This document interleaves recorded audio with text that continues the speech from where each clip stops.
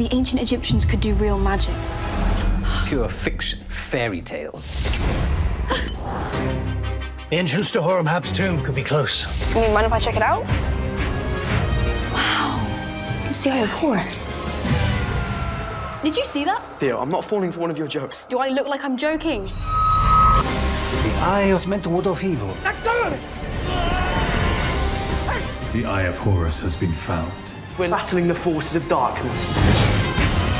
You face a world of power and peril, Theodosia. There's ancient magic all over it that no one else can see apart from me. You do realize your sister has totally lost it, right? This go is different.